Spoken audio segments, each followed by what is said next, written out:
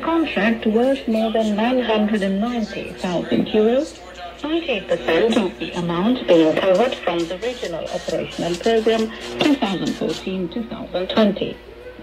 Under this project, 846 lighting fixtures will be installed on 83 streets in Cernavoda. Also, a bigger project worth 4.6 million euros was signed a month ago by the municipality of Iași. Under this project, funded also from the Regional Operational Program 2014-2020, 4,100 LED lighting fixtures equipped with telemanagement modules will be installed in the city. And also photovoltaic panels will be fixed on lighting poles.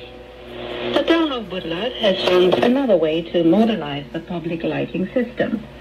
Local councillors have recently approved a partnership agreement between municipality and a Norwegian company, by of which public lighting will be completely replaced with LED systems.